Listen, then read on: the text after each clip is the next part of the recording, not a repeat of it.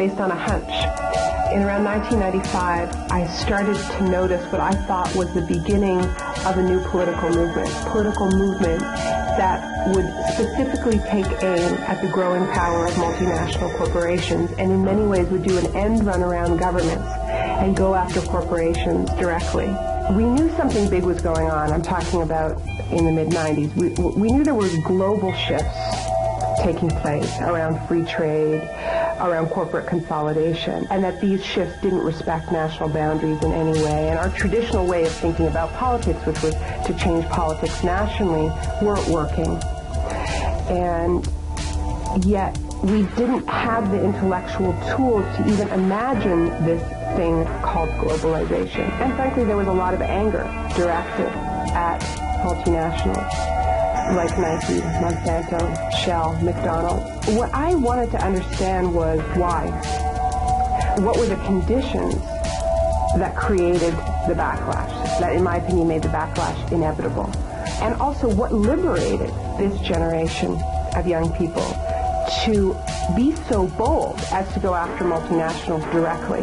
What my research brought me to was this seemingly innocuous idea that had gripped the corporate world and had sort of, at this point, was, was not seen as a political phenomenon, but was just seen as kind of management babble. You would really only be paying attention to it if you read business magazines and, and, and books about how to make a million dollars. And this idea was the idea of lifestyle branding.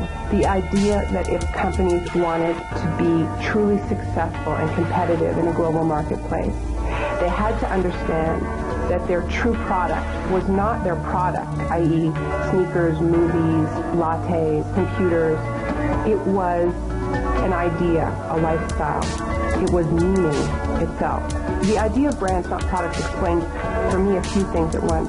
It explained the assault on the public sphere in the form of corporate sponsorship. It explained why we were seeing ever more new and creative forms of marketing, particularly directed at young people.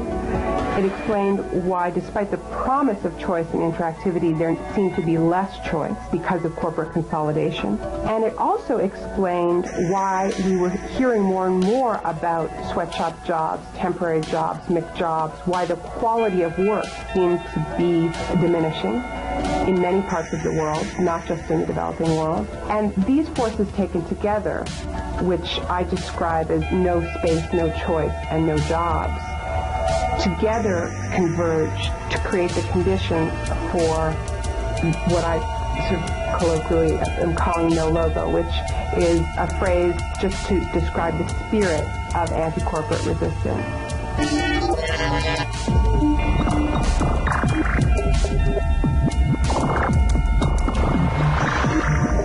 The process of branding in its simplest form is just the process of marking a product with a consistent logo, image, mascot that sends a message to the consumer.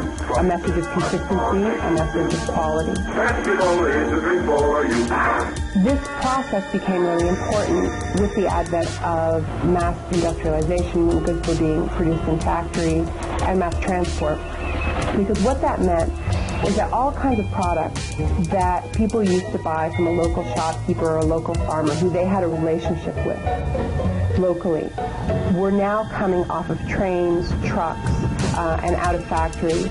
And this was quite actually scary at the turn of the century because the relationship of trust that you had with that shopkeeper uh, or with that farmer when it was just spooned out of the barrel, scooped out of the barrel, was now subverted by these goods coming from far away, being produced in anonymous factories. So the original brands were comforting logos that were often people, like Quaker Oats or Aunt Jemima, that were essentially surrogate relationships. It was like, okay, you're not buying it from the local shopkeeper, you're not buying it from the local farmer, but here is this image that you can relate to. You can form a personal relationship, uh, albeit a, a, fake personal relationship with this mascot, with this figure. But, but the message was you can trust it as much as you would trust it if you actually had a real relationship. How did we get from the, the, the fairly simple role of the brand, of the, the Aunt Jemima, the Quaker Oats, to these brand tribes that we have now, where we almost follow brands like we would follow rock stars. We organize ourselves into brand tribes. We are a Nike type of person or a Tommy Hilfiger type of person. How did, how did that happen? There were a handful of brands that understood that marketing could play a larger role than simply branding their product as a mark of quality. They understood that they could sell ideas, that they could sell lifestyles. Coca-Cola, Disney, McDonald's, these core American brands became powerful precisely because they understood that they were selling ideas instead of products, that they were selling an idea about family. Coca-Cola was selling the youth lifestyle in the 60s. They, they started selling peace and love. They were selling something way more profound than their fairly generic product, which, which was this black disease. Walt Disney understood that he was selling the American dream. He was selling a, a nostalgic vision of the small-time American town that people felt sad about. They felt that it had disappeared.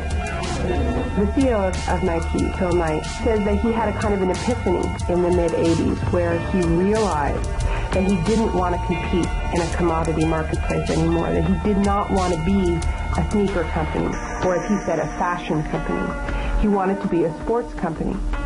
And that their core image or their core idea was not about their sneakers being better than Reebok, but was an idea about the nature of sports and that pure athletic ability and the, the raw ability of truly superstar athletes like Tiger Woods and Michael Jordan is a kind of metaphor for the American dream. And so he decided to sell that idea.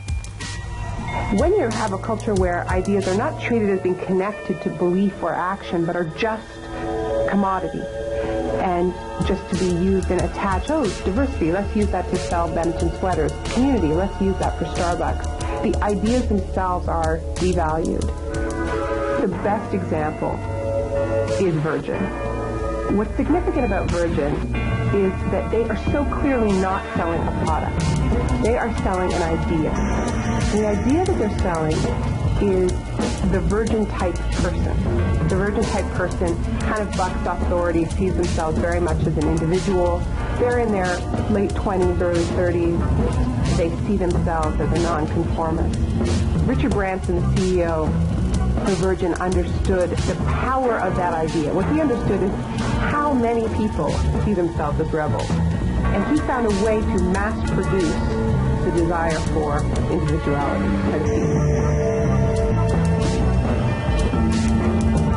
So our most, our most powerful ideas are now treated as brand content the environmental movement is the body shop's identity. Apple has used uh, revolutionary icons like Martin Luther King and Gandhi after their deaths, long after their deaths, as pitchmen for Apple because allegedly the Apple brand stands for doing things differently and these men did things differently. It's the people who are crazy to think they can change the world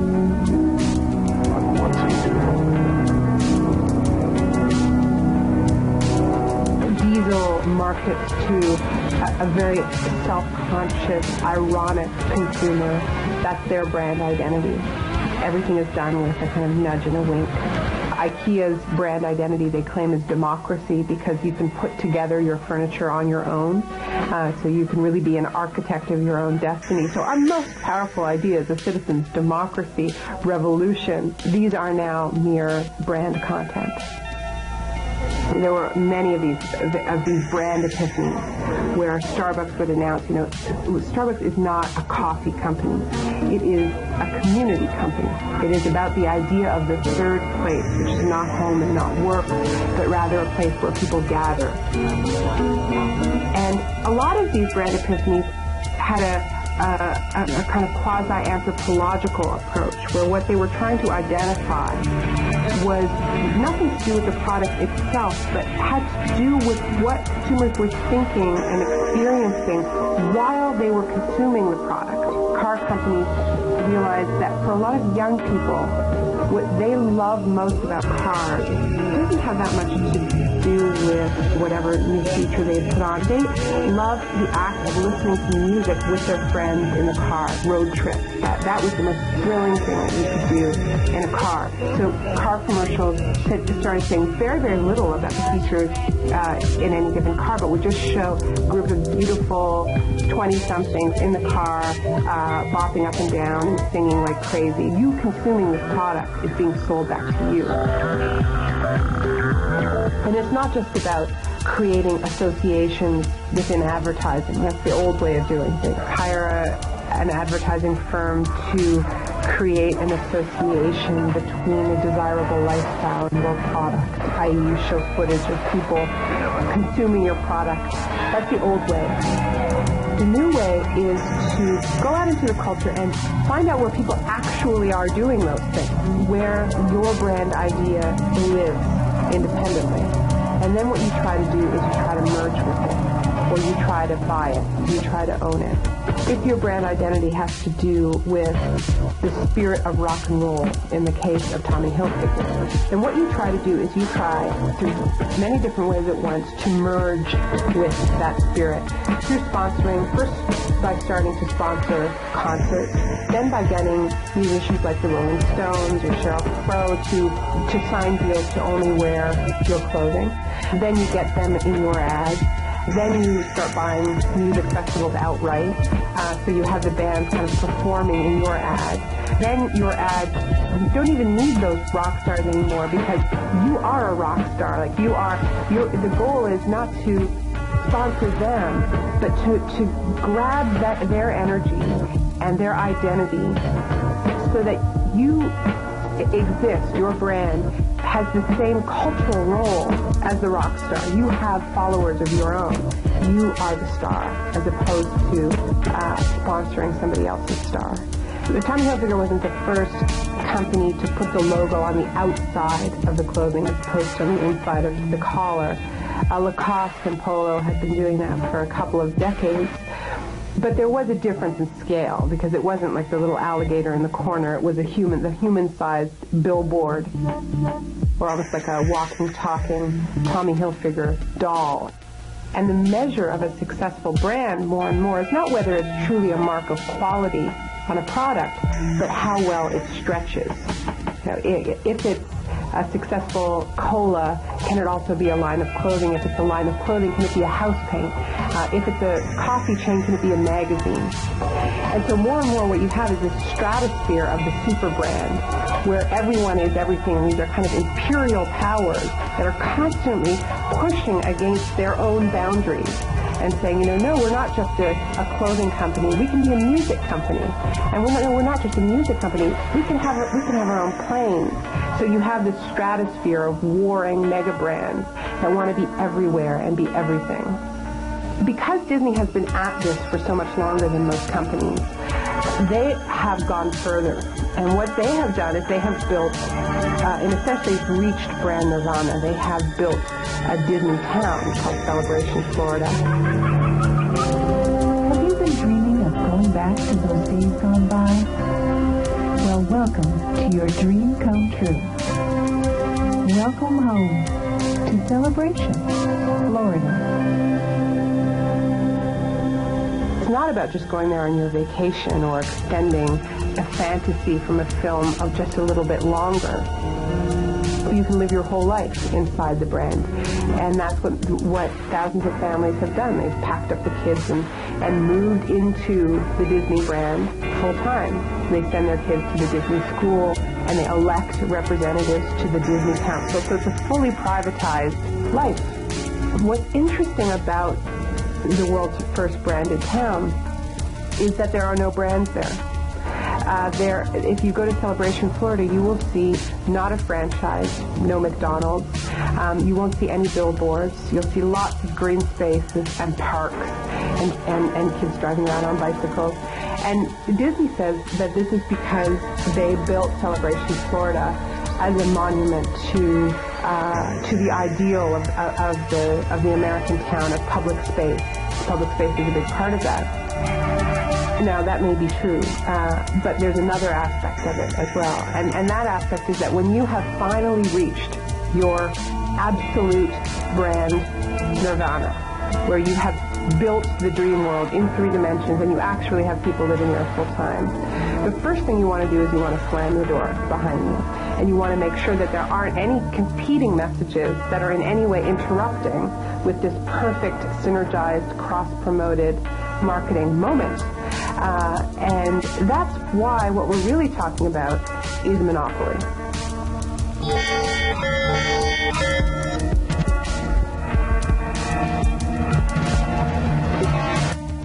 people often say about advertising, well, why don't you just turn it off? But in many of these cases, the point is that you don't have the choice whether or not to turn it off.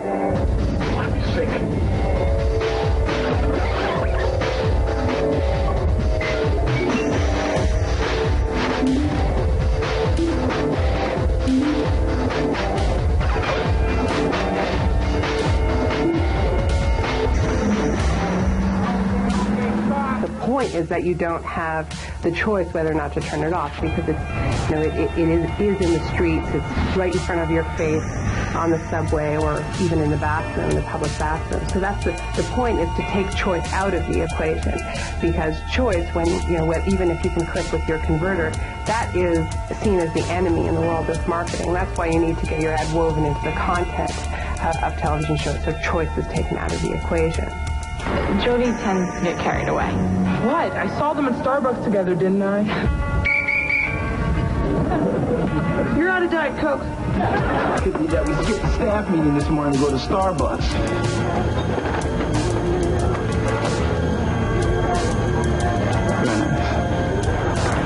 What about that cutie that you met at Banana Republic? Chicken. This is business. It needs to be done properly and legally. It's a standard lease form, Taylor. I bought it at Office Depot. You can do anything in a Kmart. You can fill up on sugary snacks. You can catch up on your dental hygiene. In fact, I'm starting to like this idea so much I may never leave. Because this store is perfect just the way it is. Don't change a thing. Because the power of marketing is always the power of getting someone's attention. And we're, let's face it, it's hard to get our attention. We are, we are literally bombarded with images and with interruptions in our daily lives. So the ante is constantly being raised. And, uh, advertisers constantly have to come up with new and more creative ways to get our attention. Patrick Dorey has invented a machine that creates a beach blanket of advertising right in the sand. In this case, for Skippy peanut butter. Right now, approximately on this one half mile stretch, are approximately 5,000 impressions of Skippy peanut butter jars. This marks the beginning of the commercial development of the moon, and we suspect we know where it will end as well there is now no aspect of our lives that is not open to being used in this kind of theater of the brand. Relaunching our logo here on the side of the spaceship is the perfect metaphor for what we're really trying to accomplish with the brand. Today's Pizza Hut rocket was actually the company's second choice. Their preference? Just imagine. The moon, a nighttime billboard. As companies try to feed off of meaning and feed off of space, everything is a potential prop. Auto wraps. One California firm paying consumers $400 a month to become driving billboards. A day at the beach, brought to you by a big name sponsor. Even a town selling its own name to an internet company for $75,000.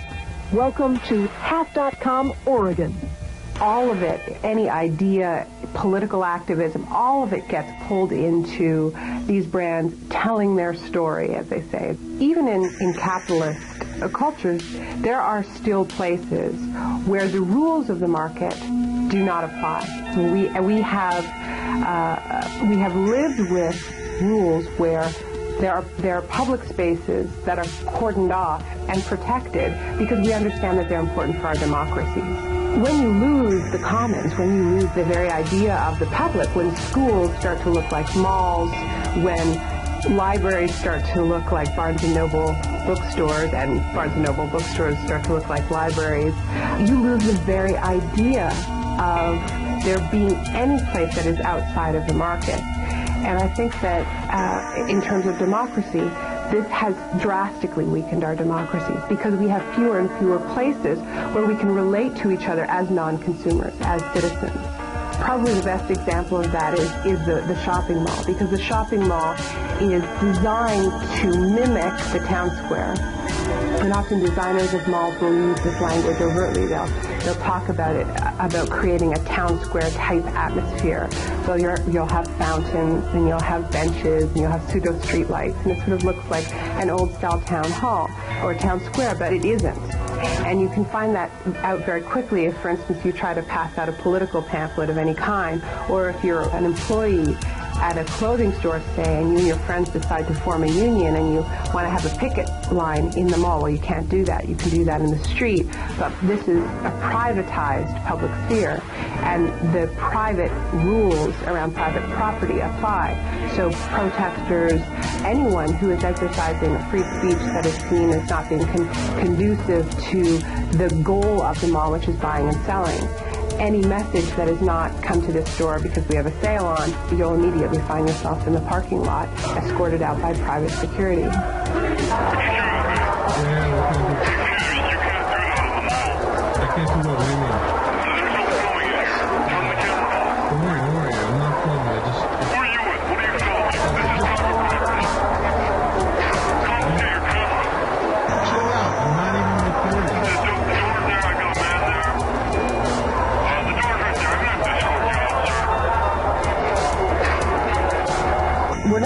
About a new idea when we talk about corporate censorship. But what's changed is the scale. Walmart owns so much of the book and music market that their brand image often comes into conflict with artistic expression. We want products in our stores that a family would be proud to have in their homes. Walmart, in addition to being at the top of the Fortune 500 list, uh, the largest employer in the United States, they are also a very powerful brand. And their brand identity is, surprise, surprise, it's a family brand. It's like Disney. It's very similar kind of identity. And they pride themselves on creating a family store. Now, this doesn't have to do with the values of the company. It has to do with a marketing strategy where by having, by identifying themselves as a family store, they are able to attract the, the fam, the entire family. And the dad can go buy power drills and guns, and mom can shop for clothes, and the kids can buy video games and, and magazines. So their strategy of being a family store obviously is what has contributed to their incredible profitability. But part of what that means is that their uh, brand identity as a family outlet clashes over and over and over again with artistic expression. There have been many cases where they have decided that the lyrics uh, in, a, in, a, in, a, rap CD or the art on the cover uh, or the image on the cover of a magazine doesn't fit the Walmart image. Now, on one level, you can just say, well, that's their right. It's a private company. They've got a right to decide what's on their shelves. But the, the difference is this incredible difference in scale because what that means uh, to the record company or the magazine is that they've just written off 30% of their sales. Uh, and they're not going to accept that. So they start, they, they, they reissue the CD. And they also internalize Walmart's aesthetic and Walmart's brand values when they think about which artists to sign and when they think about uh, what culture they're going to put out there in the first place. So there's a kind of preemptive censorship that we never even hear about. I mean, we'll hear about something if it gets yanked off the shelf. But what we don't hear about is the, the censorship behind the scenes and the preemptive and second guessing censorship that takes place that is silent censorship.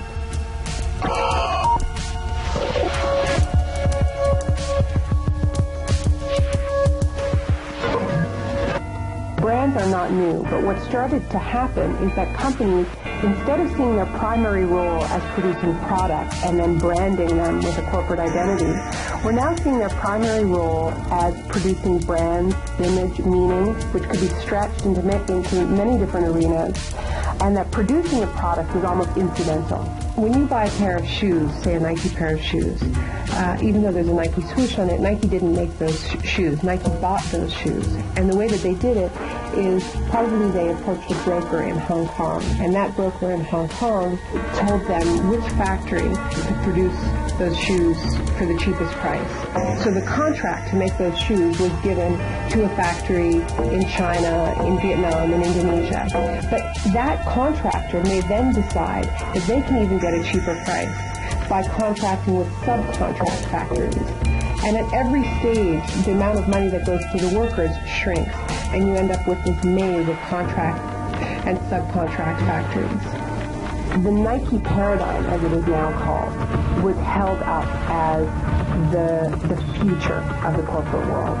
Now, what makes a product cheaper, one product cheaper than the next? They can't scrimp too much on materials because obviously there needs to be a baseline level of quality in all the products or they're going to go out of business.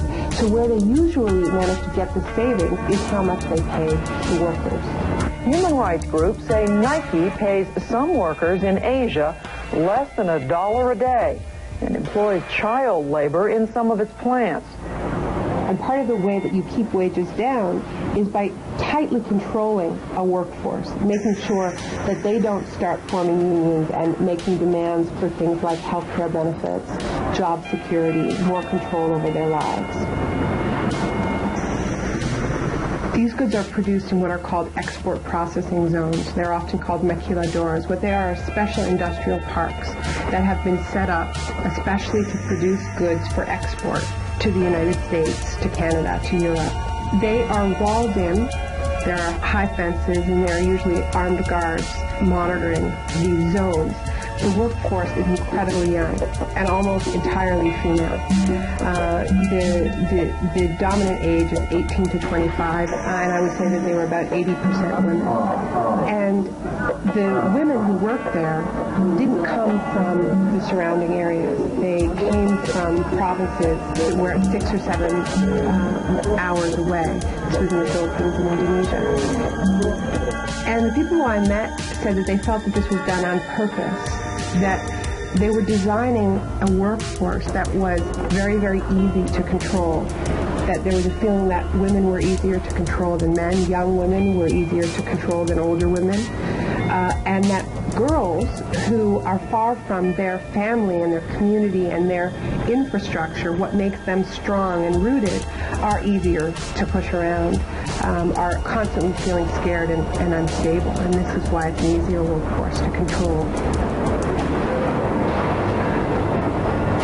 When Nike first started buying its shoes, importing its shoes from contractors, it was dealing primarily with, uh, with Japanese manufacturers. But then producing products in Japan got too expensive. So they started giving the contracts to manufacturers in Korea and Taiwan.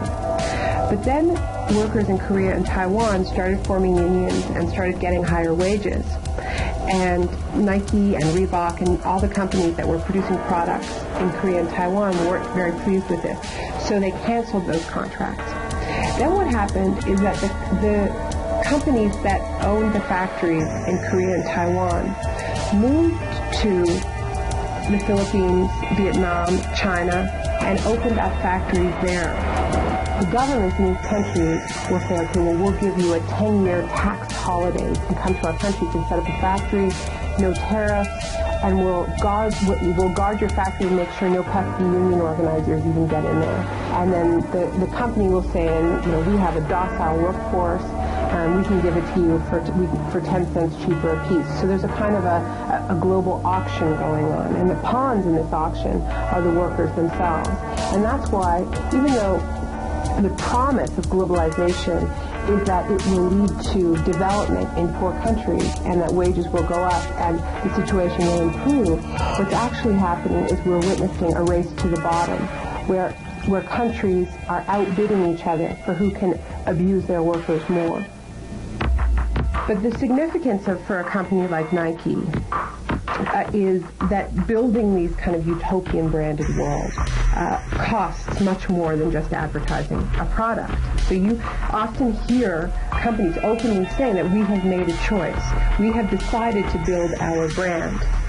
But that choice has consequences, and one of the consequences is that when that decision is made, it is often accompanied by a decision to sell off factories and to embrace the Nike model, the company that owns all this intellectual property but doesn't own any factories.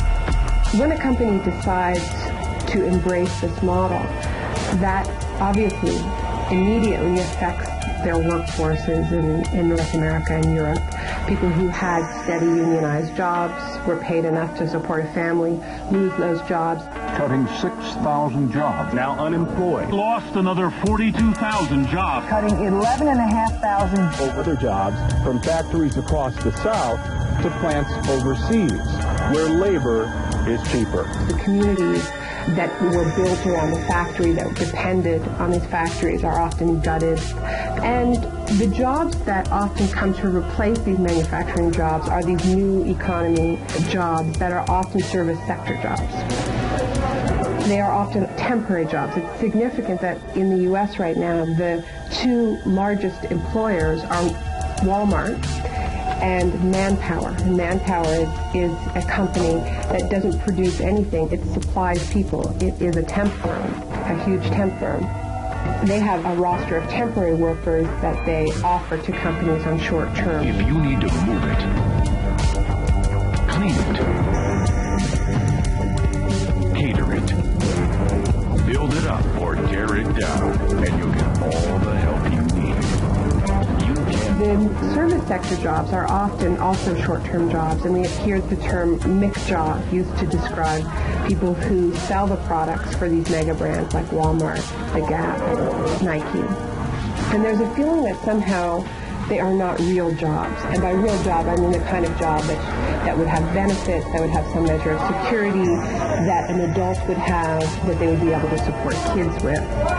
In fact, there's been a, a kind of a, a campaign to see these jobs, these mall jobs, these service sector jobs that have largely replaced manufacturing jobs for the working class in the United States, a campaign to see those jobs as almost jobs with training wheels on, not real jobs. You often hear, well, I know it's kind of lousy working at McDonald's and you don't have any control over your shift and your manager doesn't respect you and you're, you know, there are all these crazy rules about how you can't talk to your coworkers, but it's good experience. It's a good experience for some real job down the road. I'm Carol Martin and this is my McDonald's. And it, it, strikes me that this is quite a feat uh, on the part of these extraordinarily rich multinational corporations that they have convinced us, and we have largely accepted this logic, that the jobs that they create should not be held to the same standards as so-called real jobs.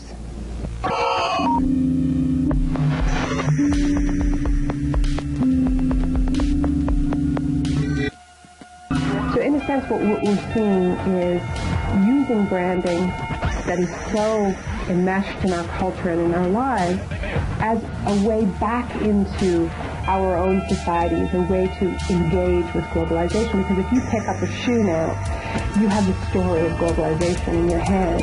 You have leather that was maybe produced in Argentina, shipped to to the Philippines, produced by a Korean subcontractor that went through a Hong Kong broker that was dealing with a company in Oregon.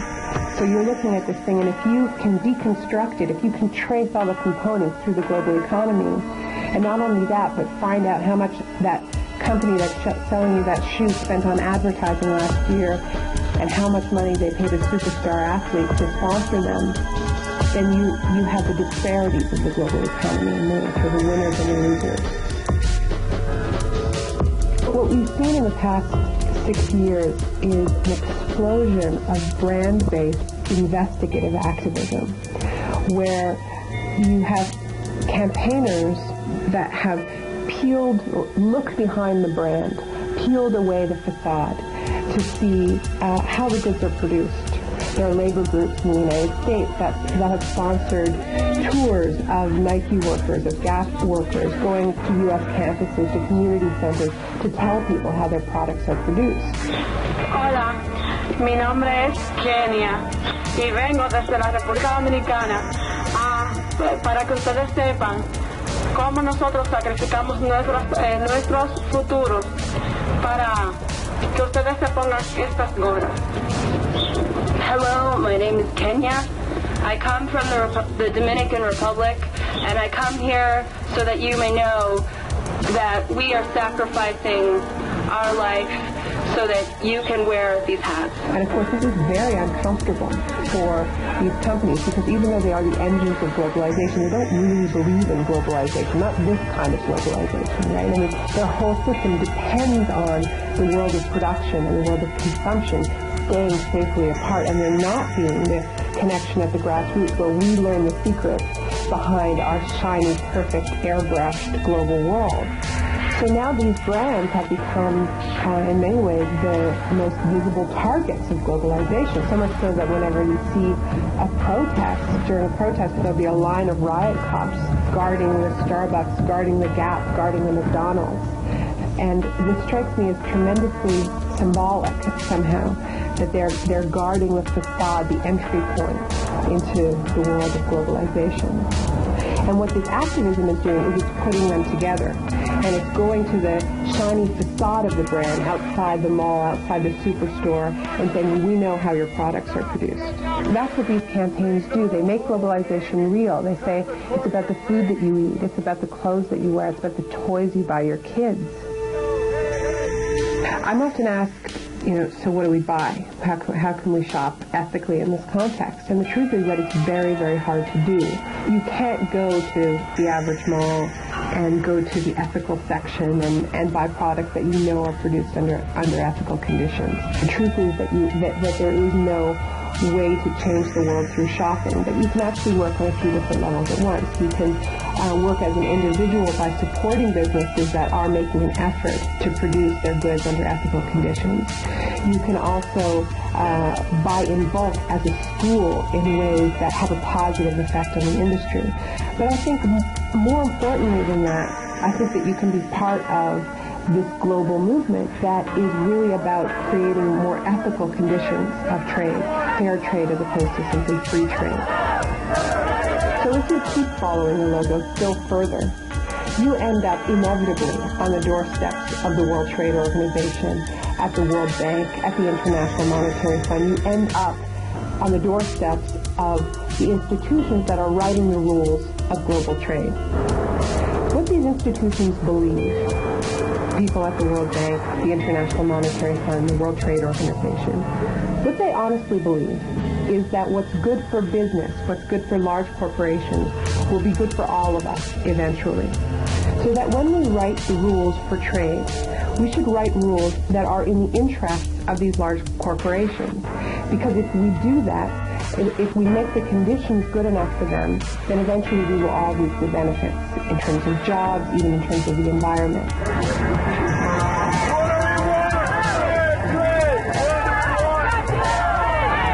What we're hearing most forcefully on the streets is uh, not an anti-trade message or an anti-globalization message, but a rejection of the logic that what's good for corporations will be good for everyone, and that we should take a spectatorship approach to our own democracies, that we should just watch and wait. Part of what we're starting to see at these huge protests outside of trade meetings, like Seattle, Washington, Prague, Genoa, uh, every time world leaders get together to talk about the global economy, there are these counter demonstrations. And what is being articulated is the beginnings of a movement that is about reclaiming the public, reclaiming the commons. And that's a really difficult thing to do because, of course, so much of our lives has been privatized and is now within within the umbrella of the market that even talking about the commons is like trying to talk about the matrix while you're in the matrix.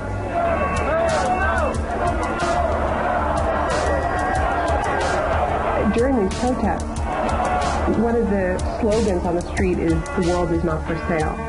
And part of what's being done is carving out spaces where we can say that the rules of the market should not apply here. What we're seeing is an explosion of activism that is about reclaiming the public, reclaiming the commons. And this is taking many forms. One form might be uh, culture jamming, ad busting, or billboard liberation, where you have uh, groups of activists that are forcing uh, a dialogue where there is only a monologue on the street. So that might mean climbing uh, up on a billboard and placing your own message over a commercial message, hacking into that message and, and parodying it or sending uh, a message about how the product that's being advertised is produced or where it's produced and under what conditions. Somebody hijacked a sports shoe company's website. Instead of the Nike logo, web surfers found a message apparently placed by hijackers, hackers that is, in Australia, protesting world trade policy. So we're seeing more and more direct action. I think that, that there's a new impatience out there that people aren't waiting to be granted rights that are already ours, that are already enshrined in law. And if the market isn't providing uh, in the much promised trickle down, uh, if it isn't providing for people, then people have to uh, take action in order to meet their basic needs and in fact have a right to. Uh, and even if they face repression from the police in so doing, they are, they are behaving ethically and they are be- behaving as citizens. And that's where the debate about globalization really is at. It's not about saying I'm for or against trade or I'm for or against this institution. It's about democracy. It's about people's rights to be authors of their own destiny, to control and have a say in controlling our shared public resources.